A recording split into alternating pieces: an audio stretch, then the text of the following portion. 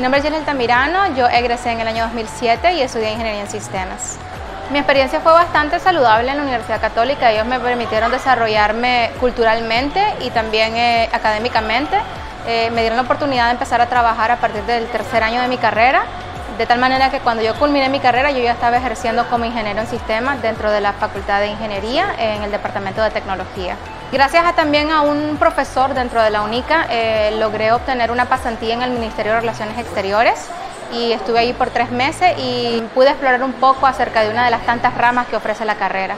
Me moví hacia Panamá y allí tuve la oportunidad de trabajar en un banco que se llama Banco Nacional de la Vivienda, Banvivienda, y trabajé en el Departamento de Tecnología como analista de requerimientos. Nosotros acabamos de emprender un negocio que se llama Exquisito. Eh, la oferta que nosotros tenemos son eh, platos de comida mexicana eh, y tenemos también un ambiente agradable para ofrecer, pero también queremos balancear entre precio y calidad. Eh, los conocimientos los estoy aplicando día a día, ya que mi carrera se enfoca en lo que son procesos. Entonces, todos estos conocimientos y estas bases también que tuve eh, de administración las voy aplicando en cada proceso que voy viviendo día a día. Bueno, el local está ubicado a una cuadra de la universidad.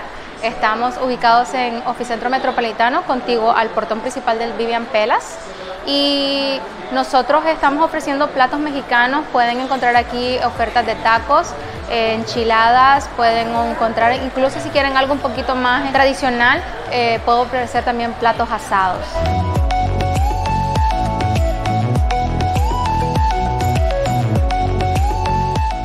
Bueno, recuerdo que hubo un académico, un profesor en particular, que cada semestre nos orientaba a hacer eh, análisis de proyectos.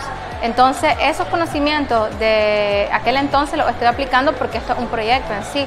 Entonces, esa manera de pensar, esa manera de escribir los reportes, de analizar cada etapa que voy viviendo en este proceso, este, se lo agradezco especialmente a ese académico que fue contratado por la Universidad Católica. Me dio también la oportunidad de crecer profesionalmente, entonces creo que te pueden impulsar si uno quiere también eh, impulsarse en la vida y ellos también te brindan las herramientas.